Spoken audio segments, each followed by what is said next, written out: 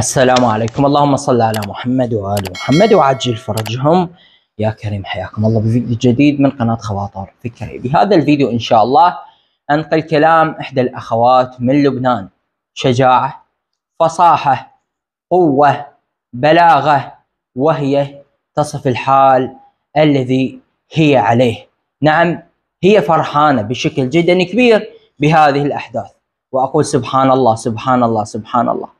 عندما نرى أو نسمع أو نقرأ صلابة أهل البيت عليهم السلام وإيمانهم المطلق والصبر على المصائب نرى بعض التجليات بشيعتهم إخواني أخواتي. نعم نرى بعض بعض بعض من صبر السيده زينب عليه السلام بقول هذه الأخت الفاضلة الأخت اللبنانية لنستمع إن شاء الله إلى تمام كلامها وكالعادة لأننا نمتلك سلاح إعلامي بيد الأعداء نتمنى منكم عندما نحذف كلمة نحذف حرف نخلي نحذف صوت معين نتمنى منكم انه تتفهمون الحالة اللي إحنا بها لنستمع إلى تمام كلامها ولنا تعقيبات. فخليكم الفيديو بعد الصلاة على محمد وآل محمد.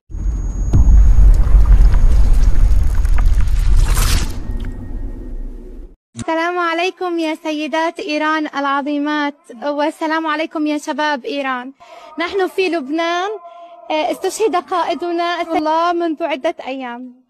ولكنني أريد أن أقول لكم أننا ثابتون ومنتصرون. يظن البعض الله فقد قوته بشهادة القادة ويظن البعض أن فقد قوته بتدمير الجنوب ونزوح الناس من الضاحية وباستشهاد القادة والكثير من الجرحى والمدنيين وتضحيات الجمهور المقيم أقسم بصوت دعاء الحجة وهذا الإمام. أقول لكم بأننا لم نزدد إلا بأسا. ولتعلموا أن دماء القادة هي وقود الثورات. اعلموا يا إخوتي أن الله عز وجل يقول في القرآن إن تنصروا الله ينصركم ويثبت أقدامكم. هذه قاعدة كونية. هذه سنة كونية. نحن قدمنا أغلى القرابين للقدس ولفلسطين في سبيل الله. أغلى القرابين لتمهيد ظهور الإمام المهدي. أغلى القرابين لنصرة الولاية. ونحن عشاق الولاية.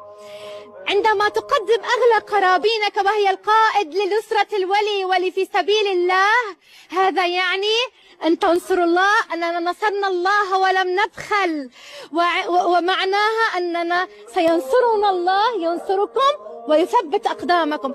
سينصرنا الله نصرا عظيما عظيما وسيثبتنا تثبيتا عظيما عظيما.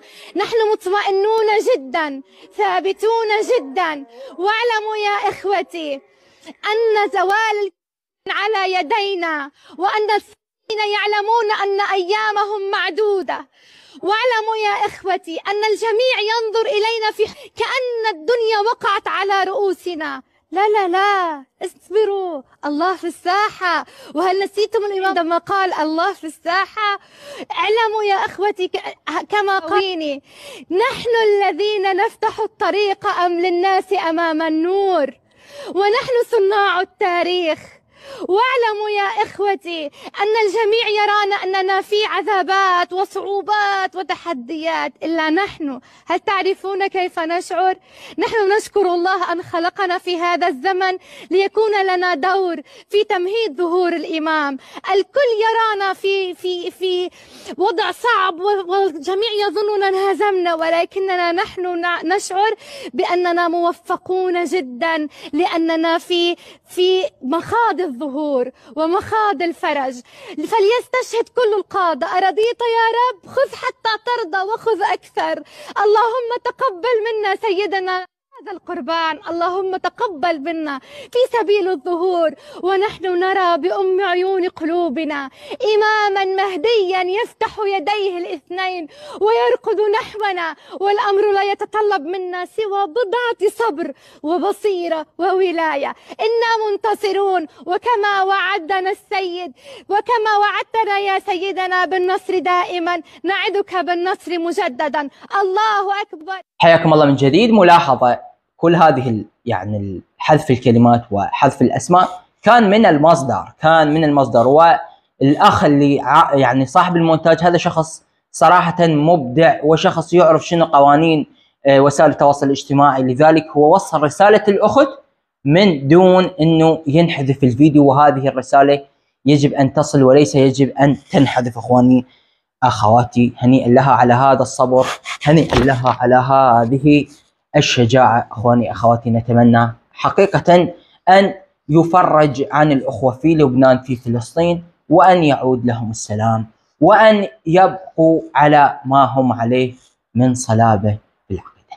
قبلوا تحياتي وفي أمان الله.